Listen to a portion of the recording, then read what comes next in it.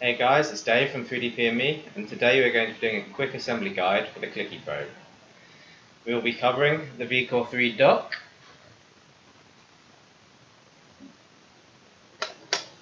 the piston Klicky probe,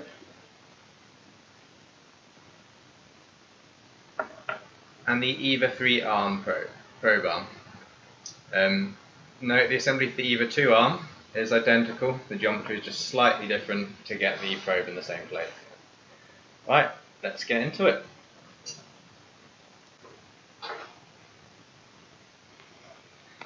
Right, so we're going to start by installing the probe dock onto the VCore 3 probe mount, like so. Um, this version does use heat set inserts here and here, so we're going to install those first using the standard M3 heated inserts.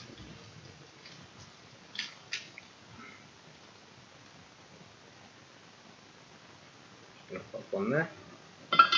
Now I do use the LDO insert adapter for my soldering iron, which does make life a bit easier, but just a regular soldering iron will be fine here.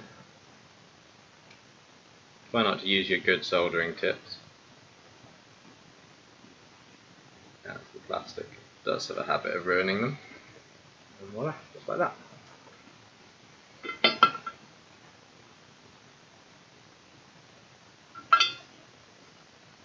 Repeat for the second one.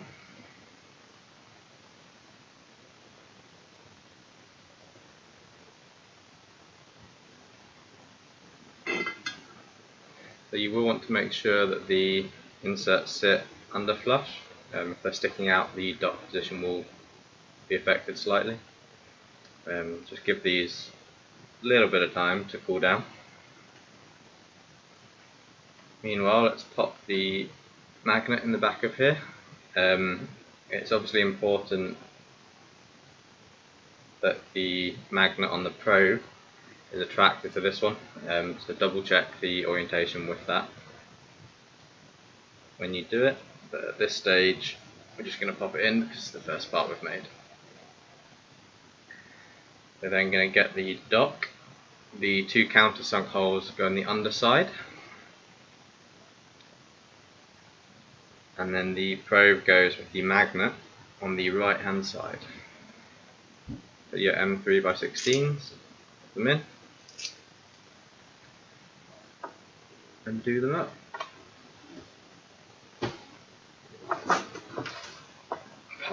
Keys.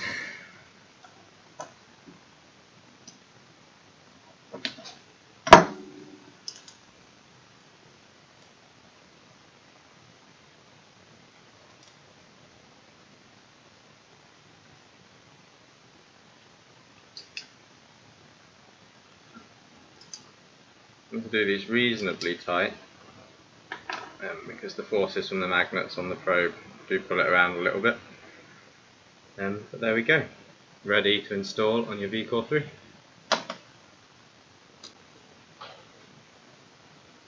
First things first, we're going to apply the magnet to the back of this probe. Take a small amount of your super glue.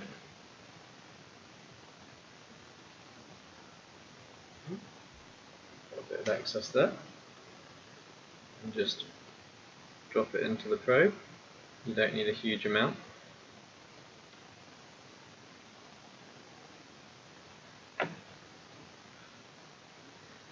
Your magnets. Um, remember that this magnet needs to attract the one in the dock that you assembled earlier.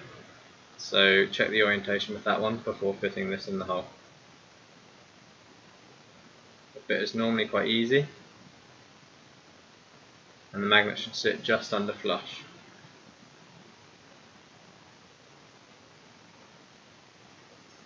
Next up we are going to fit the switch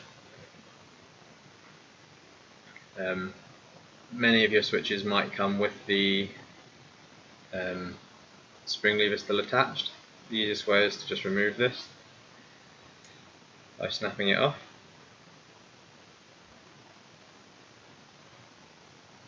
Then take the switch, check that the actual switch part lines up with the arrow on the probe and push it in. Um, this part will probably be quite loose. Next take the Klicky piston body and your plastic printed piston. Assemble the piston into the body. It should be quite a smooth motion in the movement. If not, you may need to scale the printed pin section um, down to maybe 98 99% just to get that smooth fit. Then take your probe, line up the holes and drop in your M2 screws.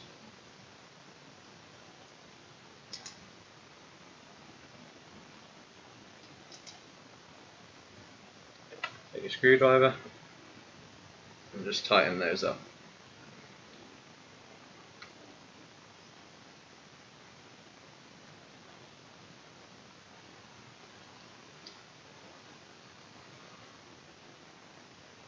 You want to go reasonably tight on these screws to ensure this section doesn't move, but don't go so tight that you strip the, the plastic on the inside of the holes. That's all gone well, the probe should be aligned, the piston section should be aligned with the switch itself, um, and when you press the tip of the piston in, you'll hear the click of the switch, and when you release it, it should go back to the original position. If yours isn't moving smoothly like this, you're probably best to take it apart, and print a slightly smaller one.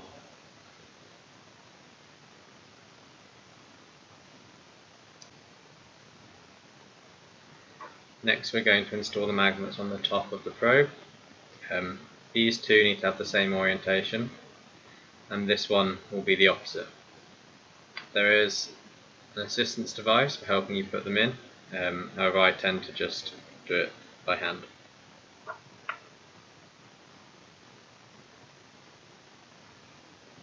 Take your super glue again and apply a small dab in each of the three holes.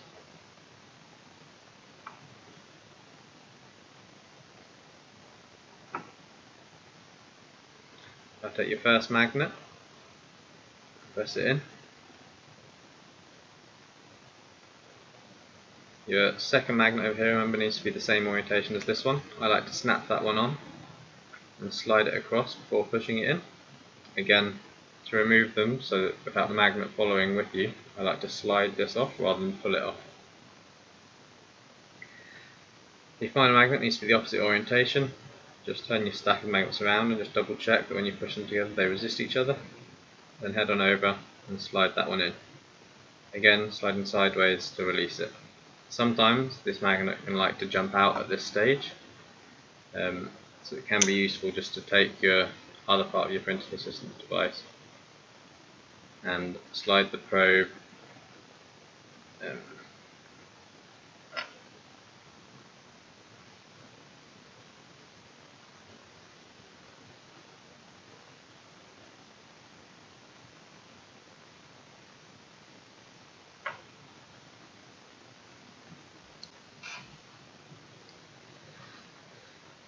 Right, take the printed probe arm. Um, you will notice that there has been some deliberate hole sections closed up in the CAD model. That was to ensure nice bridging of the rest of the hole. Um, we do however now have to just break that uh, little section open so that we can feed the wire through. So if you take a screwdriver and just dig it in, you should be able to open up a little hole to feed the wires out of the, the probe.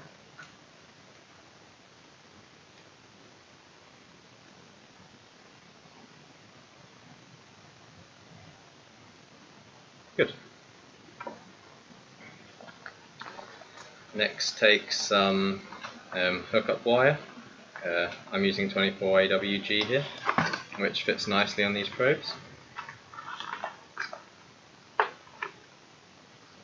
Um, we're going to do it all in black today, um, because it doesn't actually matter which way around the switch is wired. A short section, I like to have a connector on the end of this wire um, coming out of the probe arm in case I want to swap it out for whatever reason to test other probes. Um, however, you may want to have a full length of wire long enough to go back to your printer controller board.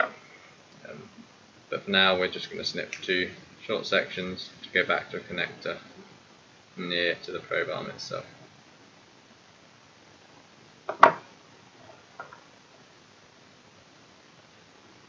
You want to feed the wires in from the top side of the probe arm through. Take your wire strippers and strip a few millimeters off of the end. Twist these to keep the wires together.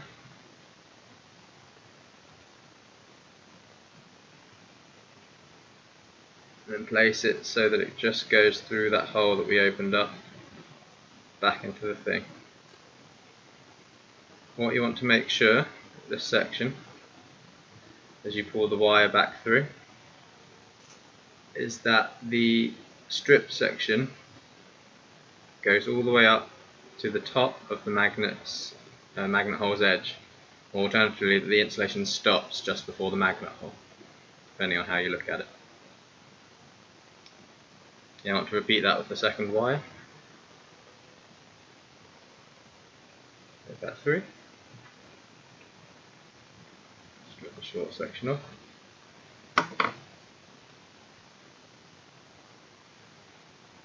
Twist the wires again.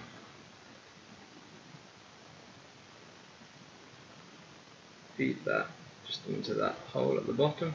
Ooh, not twisted the wires well enough there.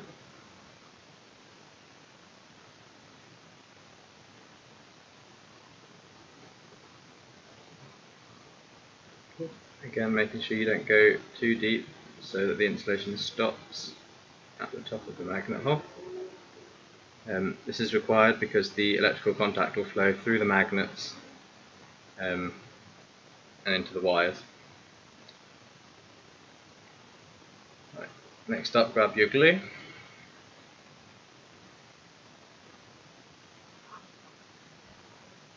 Pop three drops in again, one in each hole.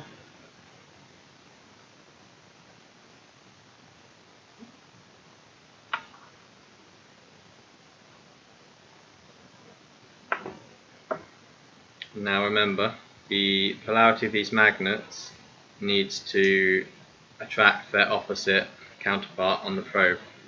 So I like to start with a single one, check the polarity by attaching my stack there. Um, because this side, the one that attracted to it, needs to face outwards. You want to flip this stack and push that magnet into place.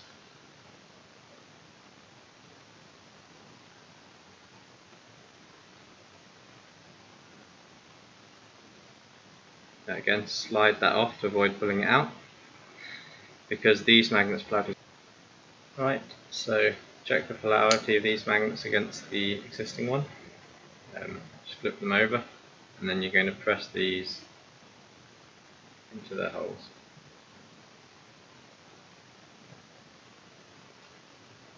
Just like that. These can be a bit tight um, and sometimes you want to get surface that you won't damage. Um,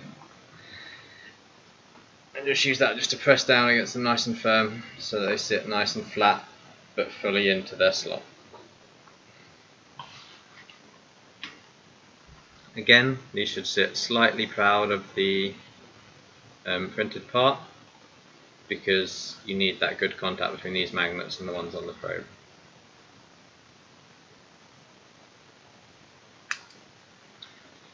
Once you've done that, it's always good to have a quick check that you've got your magnets aligned the right way around. Um, if you don't, your probe won't sit nicely like this. Um, it is quite a good idea to wait a little for the glue to dry before you do this, um, but you can always avoid pulling the magnets back out of their slots by sliding the probe off sideways rather than pulling them apart. At this stage you can now apply a connector of your choice to the end of the probe arm wires, um, but obviously that is up to you. This part will bolt straight onto the side of the EVA carriage using the normal M3 probe mount holes. Um, and the probe itself will just sit in the probe dock. Thank you for watching guys. I hope the video is useful and that you enjoy using the Klicky probe going forwards. Don't forget to like, subscribe and check out the full tutorial for configuration instructions over at www.3dpandme.com. Links are in the description. Have a nice day.